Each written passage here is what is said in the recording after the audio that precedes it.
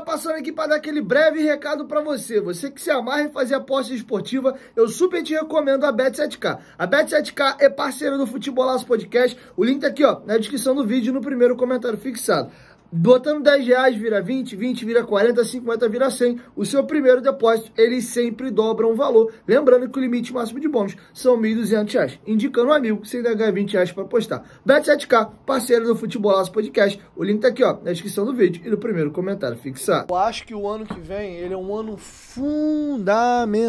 Eu acho que o torcedor que tá em casa, pelo amor de Deus, é, entendam o processo que o Vasco vai viver nós temos dois exemplos aí para falar de futebol. Primeiro é o Flamengo, que vem enfileirando título nos últimos anos, que ano que vem completam 10, an 10 anos desde que o clube começou a tomar um novo rumo, que foi quando a gestão do Eduardo Bandeira de, de Mello assumiu em 2013. E nós temos um co-irmão aqui do lado, o Botafogo, que teve um começo de ano muito ruim. A primeira janela do ano foi o clube que mais investiu. O negócio não estava dando muito certo. Já numa segunda janela, o Botafogo já começou a melhorar. Tava perigando ali zona de rebaixamento e hoje tá na reta final do campeonato brigando ali pela última vaga da Libertadores, pensando num G7 ou num G8. Então, o Vasco aí no ano que vem, ele tem que entender, e aí são casos muito raros no Brasil, no, no mundo até.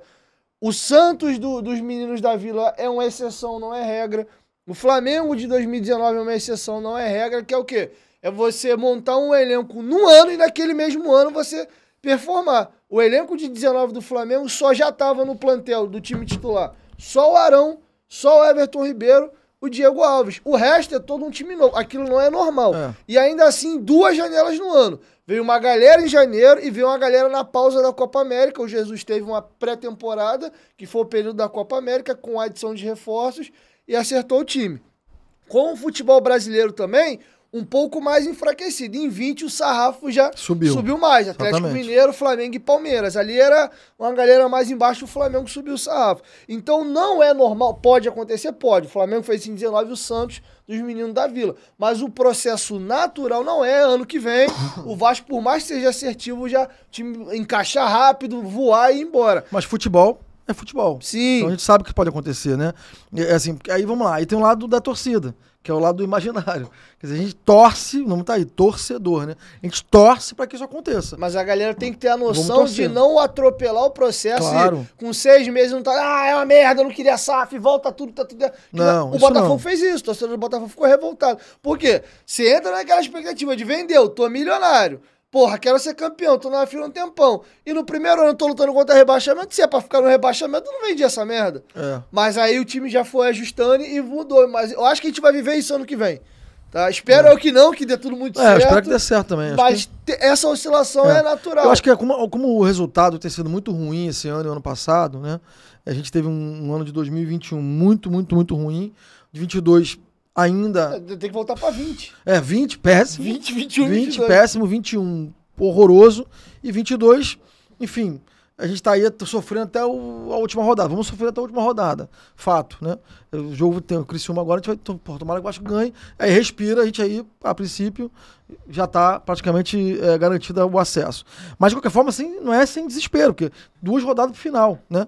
Então, quer dizer, é uma dificuldade, três rodadas pro final, uma dificuldade. Então, a gente está numa, numa, numa situação muito ruim. Então, qual é a minha expectativa? É que essa situação, a gente entre no que vem na Série A, né?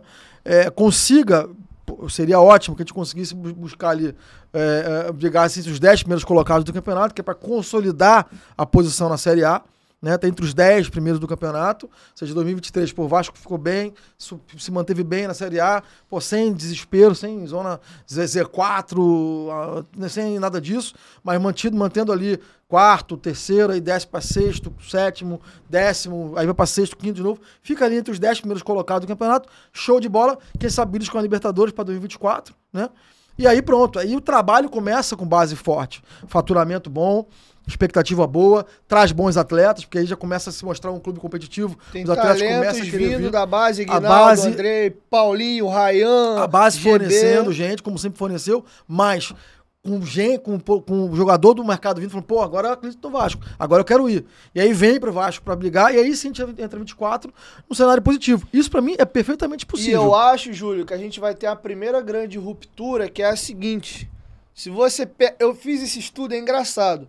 Se você pega os elencos do Vasco do século XXI, dá para montar um timaço. Esquece o ano de 2011. O Vasco aparece assim, numa temporada, um, às vezes dois bons jogadores. Sendo que esse cara, quando ele se destaca no Vasco, no ano seguinte ele vai embora.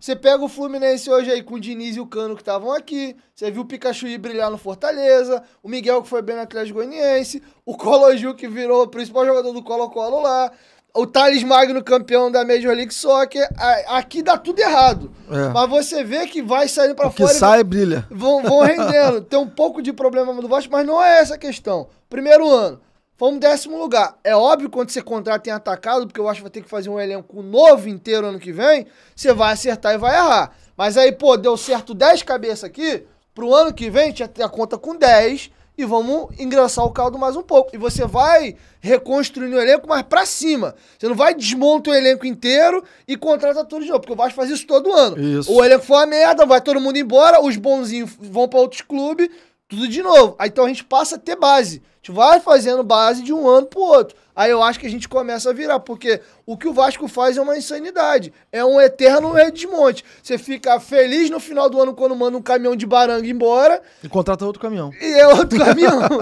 Mas aí tem uma coisa curiosa, que aí como eu vejo, né? Até na Série A, e aí para estar tá entre os, falando que entre, entre os 10, na primeira metade da tabela, entre os 10 primeiros, você precisa ter mais de um elenco. Quer dizer, Sim. você precisa ter uma capacidade de, de manter ali dois elencos e meio, né, é, de jogadores com capacidade de jogar, entrar e performar no mesmo nível dos que estavam ali né? Que são os titulares. Porque se você não tiver isso, o que acontece? Você vai ter assim que exaustão muscular, o Dr. Cláudio Munhoz fala muito isso, né? A exaustão mental, quer dizer, por mais que o jogador tenha capacidade física, ele vai ter exaustão mental, ele vai ter estafa, estresse mental. Então não adianta, ele vai ter problema, se querendo ou não, em algum ponto do campeonato, mesmo que não seja na coxa. Não, vai, não tem jeito. Isso vai acontecer. Agora, você precisa ter alguém que reponha algumas as peças de reposição que consigam entrar e joguem no mesmo nível de quem saiu. Porque senão você vai ter um nível muito grande de dois elencos e no campeonato longo, e aí eu tô falando Vasco competindo para brigar é, Campeonato Carioca, logo em seguida, depois Copa do Brasil e Campeonato Brasileiro, né? Então são dois, no mínimo, dois campeonatos longos, né? Imagino que não tenha Libertadores, mas em 24 ainda tem Libertadores.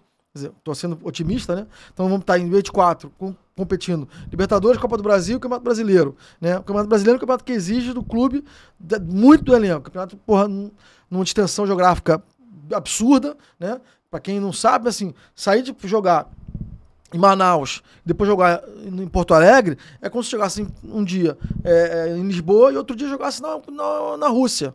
Entendeu? Então é mais ou menos isso.